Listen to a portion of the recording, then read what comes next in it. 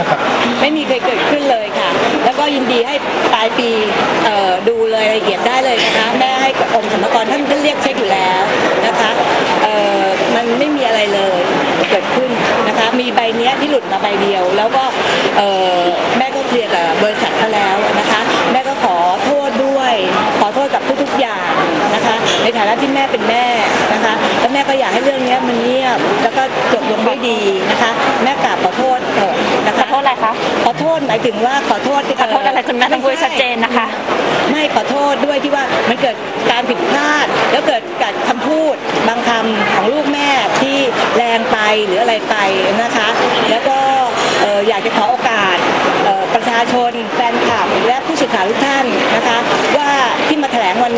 โชว์เรื่องรายละเอียดเนี่ยมันเป็นมันเป็นเราแก้ไขให้ถูกต้องแล้ว เราไม่ได้โกงภาษีหรืออะไรเลย แต่เป็นการผิดพลาดทางเทคนิคนิดหน่อยนะคะนะคะ แล้วก็เราก็โชว์ให้แล้วด้วยว่าทุกอย่างเราแก้ไขถูกต้อง และปลายปีอันนี้ก็ไปรวมกับภาษีเงินได้ของพลอย ที่พลอยเป็นพรีเซนเตอร์เป็นอะไรทุกอย่างที่พลอยจะต้องเสียในปลายปีสิ้นสุดณมีนา56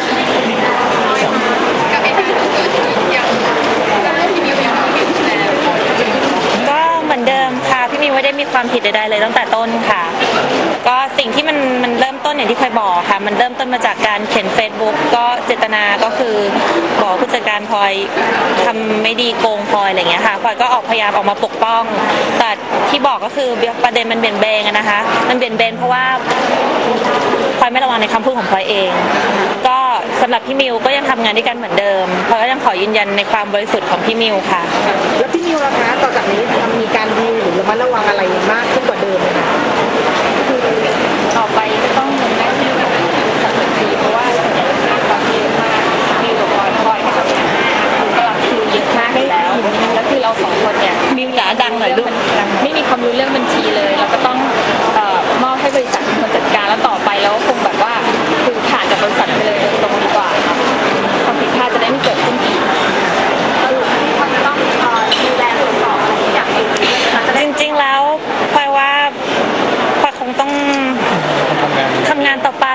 แล้วก็เรื่องเรื่องของการแบบว่าเรื่องเกี่ยวกับการเงินของพลอยเนี่ยพลอยก็ต้องแบบเอ่อให้บริษัทแบบคอยดูแลอะไรอย่างเงี้ยบัญชีบัญชีเป็นคนดูแลเป็นคนดูแลต่อไปนะครับพลอยเองก็ตั้งใจทำงานต่อไปอะไรอย่างเงี้ยค่ะเขาไม่ไม่ใช่ไม่เหมือนก็กัยันงนะคะก็ยังก็ยังสำนักงานทำงานกันอยู่บัญชีเหมือนเดิมคนคนละคนละฝ่ายกันนะครับอะไรนะครับฮะวันนี้ยังเป็นที่เดิมอยู่ครับพลอยครับพลอยกลัวไหมครับว่าที่เราบอกว่าเรา เป็นแค่ข้ออ้างคือผมผมเรียนอย่างนี้ฮะคือเหตุการณ์อย่างนี้เนี่ยนะครับ มันเกิดขึ้นค่อนข้างจะบ่อย ผมเองเนี่ยผมทำงานก็ทำงานให้กับศิลปินดารามาก็ก็พอสมควรนะฮะเอ่อมีครับมีกรณีคือ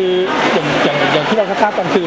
ทางทางหัวหน้าของบัญชีเนี่ยเขาเขาไม่ได้เป็นคนดิวเองส่งเองนะฮะก็จะมีลูกน้องส่งส่งไปตามลำดับขั้นนะครับ ความผิดพลาดที่เกิดจากจากเจ้าหน้าที่คนหนึ่งมันมันมันมันส่งผลให้เกิดเกิดข้อพิพาทในวันนี้นะครับพายได้ออกมาพูดในวันนี้รู้สึกโล่งก็ โอเคนะคะ ก็หวังว่าทุกคนคงจะเข้าใจ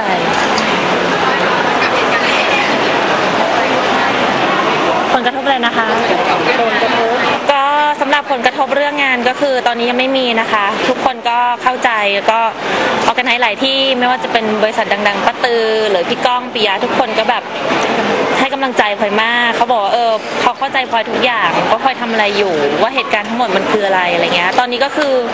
ทุกคนยังจ้างงานพลอยอยู่เหมือนเดิม ไม่มีอะไรเปลี่ยนแปลงค่ะ ก็ จะเปลี่ยนแปลงจากแค่กระแสสังคมเท่านั้นเอง ซึ่งตอนนี้พลอยกลายเป็นคนผิด แล้วก็กลายเป็นจำเลยไป ซึ่งก็ไม่ค่อยยุติธรรมเท่าไหร่ถามว่าน้อยใจไหมน้อยใจ เสียใจไหมเสียใจเหมือนกัน อยากให้ทุกอย่างมันก็จบจบนะคะ เพราะว่าพลอยไม่ค่อยอยากมีเรื่องกับใครจริงๆเลยพลอยสาบานได้ตั้งแต่แรกเลยไม่อยากมีเรื่องกับใครจริงๆก็ขอให้มันยุติเท่านี้แล้วก็พลอยก็ได้แต่หวังว่า ข้างหน้าในวันข้างหน้าของพลอยในการทำงานของพลอยอีกเลยพี่ต่อไปเขาไม่มีใครมาหาเรื่องพลอยอีก แล้วพลอยก็จะระมัดระวังในคำพูดของพลอยมากขึ้น แล้วก็มีสติในการควบคุมอารมณ์ให้มากขึ้นมากกว่านี้ค่ะ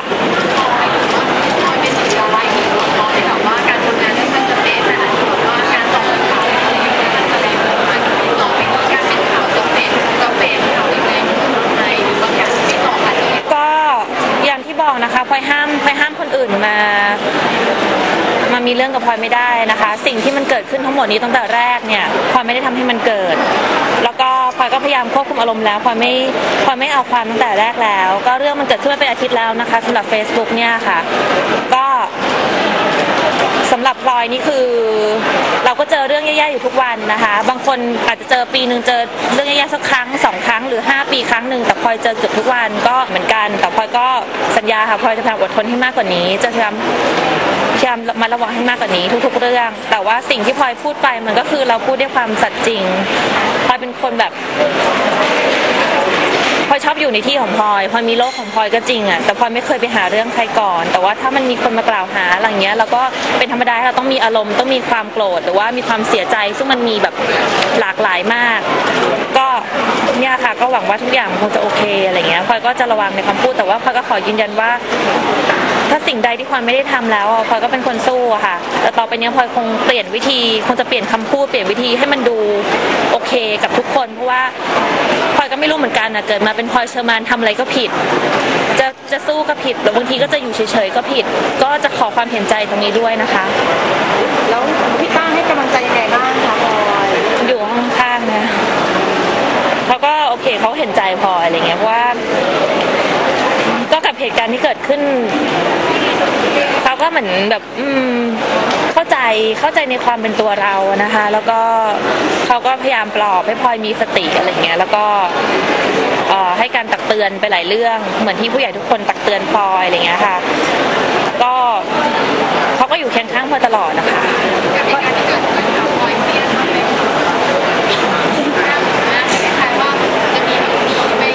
โอ้ไม่ หนีไปไหนล่ะคะเราไม่ได้ทำอะไรผิด คือไม่หนีหรอกนะคะ ไม่ได้ทำอะไรผิดค่ะ แต่ว่ากับกับกระแสสังคมที่มันเกิดขึ้น หรือว่ากับคำวิพากษ์วิจารณ์ในในพันทิปหรือว่าต่างๆ นานาเว็บผู้จัดการหรืออะไรมัน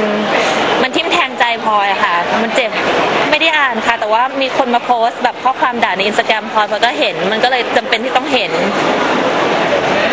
สียใจกับเสียใจกับกับกับเรื่องที่เกิดขึ้นแล้วก็เสียใจกับคำพูดที่มันมาทิ่มแทงเรามากล่าวหาเราอะไรเงี้ยค่ะ ก็วันนี้พลอยเลยถึงเอ่อต้องให้ทุกคนมาแถลงข่าวเพื่อให้ความกระจ่าง แล้วก็ให้เรื่องทุกอย่างมันจบไป แล้วก็ให้เข้าใจตัวพลอยด้วยว่า ว่าเออเราก็พยายามแล้วอะไรเงี้ยนะ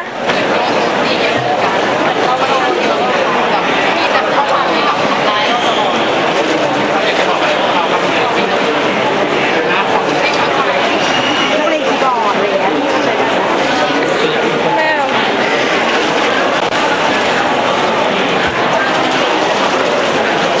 หน้าคอมเนี่ยแม่ขอพูดได้ไหมคะเพราะว่า คือ แม่เป็นคน ไม่มีอะไรแค่แบบ เช็คข่าว ขอขอเถอะค่ะอย่าอย่าด่าอะไรที่หยาบคาย ขอโอกาสให้เออให้ได้รู้ความจริงก่อน แล้วค่อยค่อยเข้าไปโพสต์ด่าหรืออะไรทั้งนั้นนะคะขอเพราะว่าอันเนี้ยมันอัดอั้นตันใจมานาน แม่ก็คือเป็นคนเช็คข่าวหรืออะไรเกี่ยวกับลูกเสมอ แต่ขอขอโอกาสให้ได้รับทราบความจริงก่อน แล้วค่อยไปโพสต์ด่าพลอย หรือด่าแม่ หรือด่าครอบครัวแม่ แม่ขอ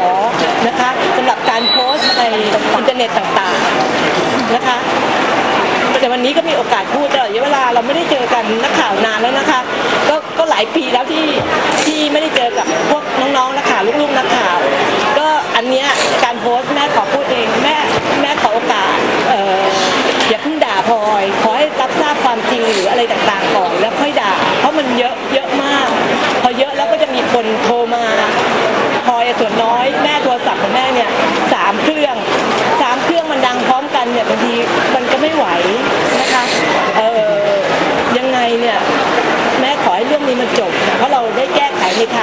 ต้องแล้วนะคะยังไงเราก็ยืนอยู่ตรงนี้มาเกือบ20 ปีแล้วนะคะเออไม่มีอะไรที่ถ้าผิดแล้วเราขอโทษ แต่ถ้าเราไม่ได้ทำเราสู้แต่ถ้าเราทำผิดเรากราบขอโทษจริงๆค่ะ ขอโอกาสนี้ด้วยนะคะ ก็อาจถือว่าคำนี้เป็นบทเรียนอะไรสำคัญเลยกับพลอยหรือเปล่า ก็ มันก็ เรียนเยอะอะค่ะ แต่ว่าวันนี้ก็เหนื่อยเหมือนกันบทพิสูจน์ชีวิตความค่อนข้างที่จะเยอะแล้วก็มีมาเรื่อยๆถามว่าเป็นบทเรียนไหมก็เป็นบทเรียน แล้วก็เป็นบททดสอบเหมือนกันว่าพลอยยังไม่ผ่านสำหรับเรื่องการควบคุมอารมณ์ของพลอยนะคะ ก็จะพยายามแก้ไขตัวเอง ก็ตอนนี้ก็ได้แต่อธิษฐานแล้วก็ขอพรว่าแบบต่อจากนี้ไปคง งจะไม่มีเรื่องอะไรแบบนี้เกิดขึ้นอีก เพราะว่าตลอดทั้งปีนี้พลอยเจอแต่เรื่องแบบนี้แล้วพลอยค่อนข้างที่จะเหนื่อยก็อยากให้ทุกคนเห็นใจพลอยบ้างพลอยก็เหนื่อยเหมือนกันพลอยบางทีพลอยพยายามต่อสู้แต่แบบกับการที่เราต่อสู้แล้วอะสังคมมองเราเป็นคนผิดมันก็เจ็บเหมือนกันนะคะก็หวังว่าต่อจากนี้ไปคงมีเรื่องอะไรที่มันดีๆ กับพลอยบ้างอะไรเงี้ย คุณค่ะ โอเคค่ะโอเคขอบคุณค่ะ แม่น้องพลอยถือกระดาษที่ติดเกิดไปยืนไปยืนยืนไปยืนนะฮะ กระดาษ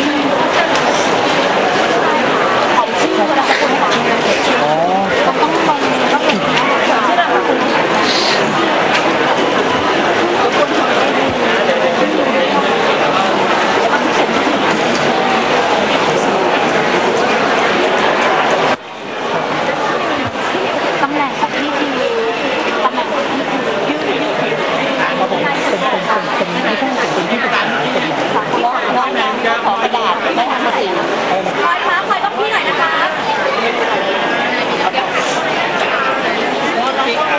พลอยพี่ขออีกทีนะคะใครครับพลอยครับต้องพี่นะคะ ตรงนี้นะพลอยให้มองกล้องมาตรงนี้นะพลอยพลอย